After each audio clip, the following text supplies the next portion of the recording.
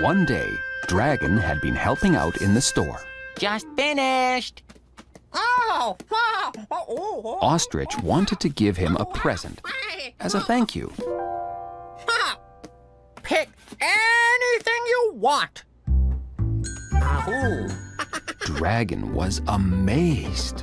I can have anything?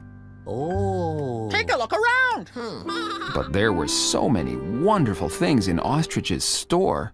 Dragon didn't know where to look first. Oh. Anything? Anything. Oh. Anything? This was a very important decision, realized Dragon. I'll have to choose very carefully. Hmm. Ooh. well, no. Oh. Yeah. No. Dragon wanted to choose something he really, really liked. something he would enjoy playing with again and again. Hmm. Let's see. Um.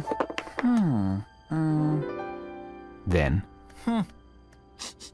he spotted it. A pirate hat. Oh. He'd always wanted a pirate hat. Then Oh.